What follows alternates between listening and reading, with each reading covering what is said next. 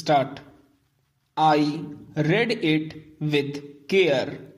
I found some difficulty in understanding it, and the more I read it, the more surprised I was that any member of this assembly should have put this forward as an amendment.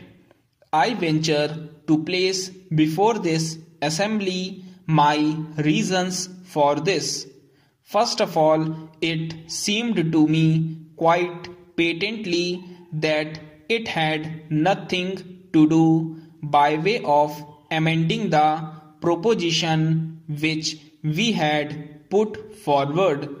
It is not an amendment. I do not perhaps know the rules of this assembly, but it is not an amendment.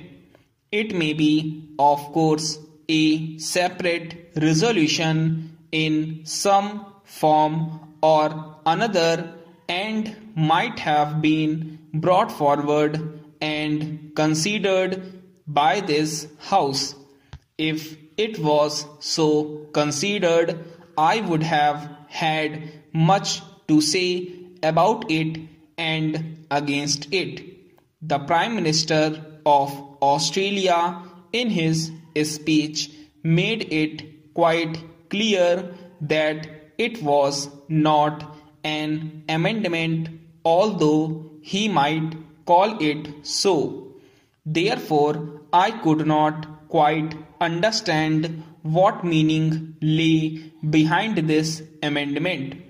I have the greatest respect for the Prime Minister of Australia, more specifically for his keen mind and ability.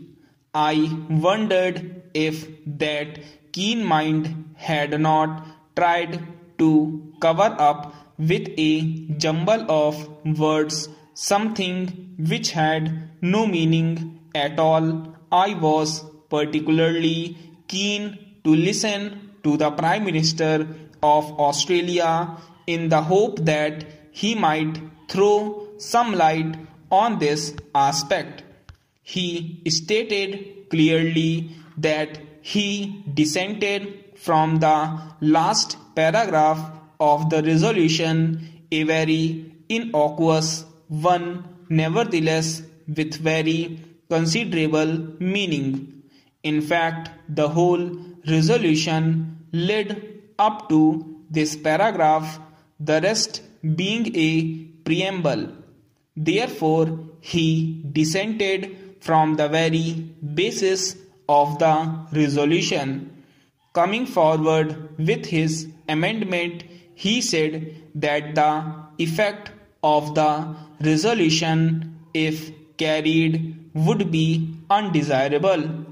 I wondered if I had understood him correctly, of if I had made some mistake in regard to what he said.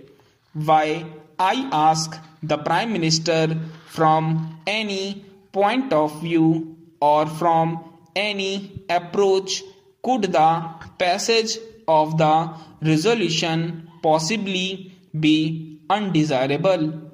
I have given thought to this matter, but I am quite unable to understand his reasoning. Therefore, it must be undesirable from some point of view of which I am not aware and which had nothing to do with the resolution. That is the conclusion I arrived at.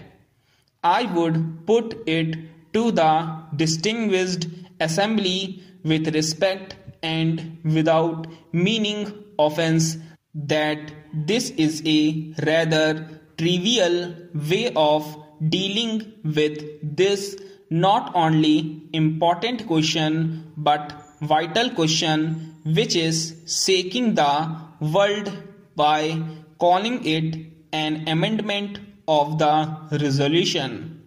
I submit that we are discussing very important matters affecting this assembly and the world. The Prime Minister, in his argument, talked about a conference.